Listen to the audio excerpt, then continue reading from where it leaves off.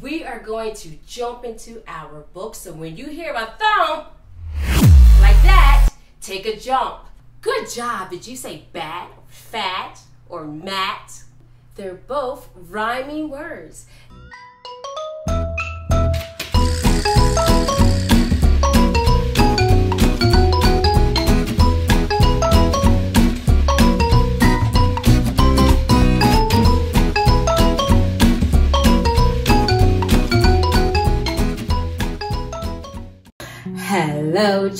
Children. Hello, children. How are you? How are you? And thank you for tuning in today. Thank you for tuning in today. How are you? How are you? Hello, my children, and thank you so much for tuning in today. How are you? I hope that you're not blue. Did you hear those two words? You and blue, they're both rhyming words. That reminds me of our literacy skill today. We're going to be talking about rhyming words. And we have another great read aloud by Kimberly and James Dean. Remember we talked about friendships? Well, hold on tight because we have another book about friendships. Have you ever went to a new school or a new neighborhood?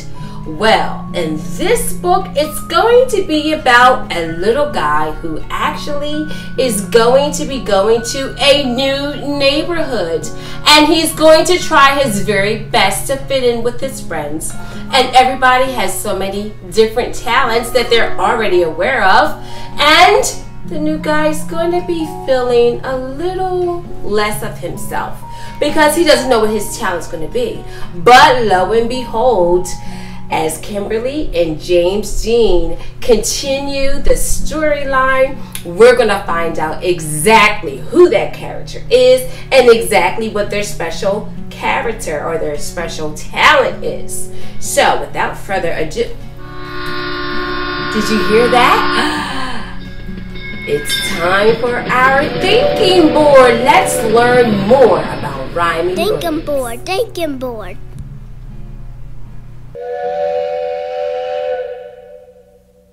Thinking board, thinking board. Hi, Frog and Dog. So, what's rhyming words? Rhyming words are two or more words that have the same or similar ending sound. Bug and rug are rhyming words. They have the same ending sound. Do you know the name of these two pictures? One says pig and one says dig. Listen to those sounds. P, ig, d, ig. Do they sound like they rhyme? Okay, here's our last one. Can you name these two pictures? Did you say blue and two? Oh, you are so right. Let's stretch these two words out. Say them as slow as you can and listen to those sounds at the end. You ready? Blue. Two. Do they rhyme? If you said yes, way to go going to jump into our book. So when you hear a thump like that, take a jump. Put both of your feet together and jump as high as you can. And we're going to jump into the book that is entitled Pete the Cat and the New Guy. Ready? There's a thump. Let's take a jump. It was Sunday, and Pete's friends had come to play. They were rocking to a new song when. There was a noise coming from across the street. Wise old Owl had a view from his tree. Pete said, Hey, Owl, what do you see? Owl said, All I see are green shoes and a red hat. Pete answered, Sounds like my kind of cat. Pete could not imagine who this new guy could be. I really hope it's a new friend for me. On Monday, Pete wanted to say hi, but he was feeling kinda shy. So he just rode by and by and by and by until he finally got to meet the new guy.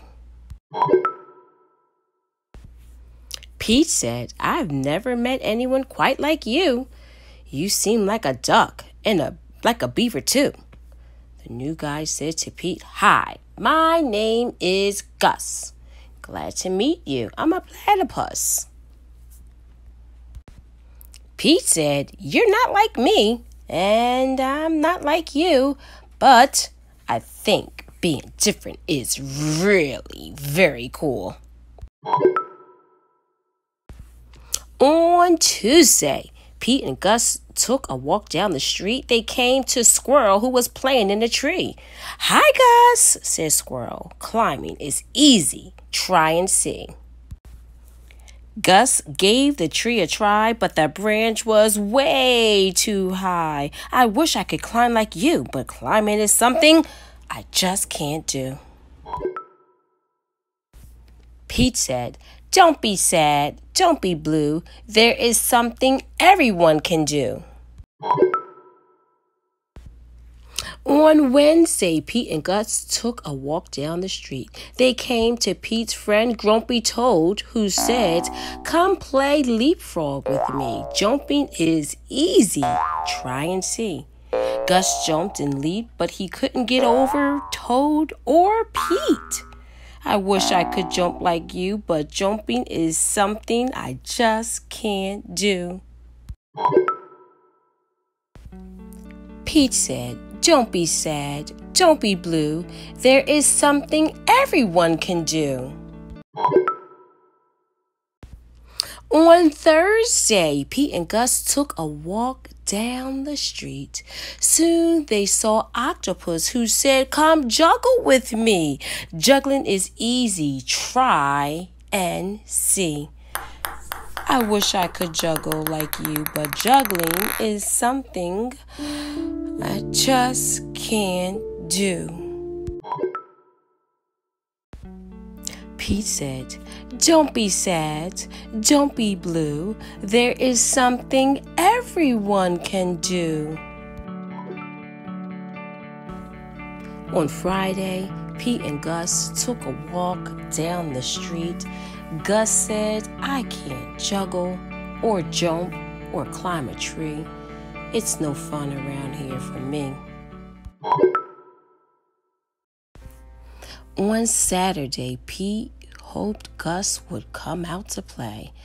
I wish Gus wasn't sad. I wish Gus wasn't blue. I wish there was something we could do. Just then, Pete heard a groovy sound. It was coming from across the street. Gus was rocking to his own beat. Sweet!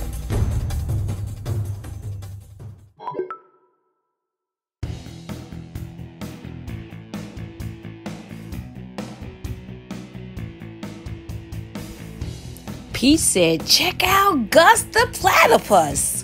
He found something cool that he can do with us. Tap the thud. He's not sad, he's not blue. Gus found something that everyone can do. And, and when the story's over and when we reach the end, we live happily ever after in the land of make pretend. Bum bum bubbly bop. And when the story's over and when we reach the end, if you think you like the story and you wanna read it again, just hit like, subscribe, and right before your eyes, you can watch it over again and again. Let's check for understanding. Do you remember what a rhyming word is? Can you tell me something that rhymes with cat? Good job. Did you say bat, fat, or mat? Can you tell me something that rhymes with store? tell me something that rhymes with store? Did you say more or four? Last one. Can you tell me something that rhymes with blue? Way to go! Did you say shoe or two or through? I am so happy you decided to tune in today. Remember, next week we will have another episode from the Glam Girl Reads. Until next time, so long.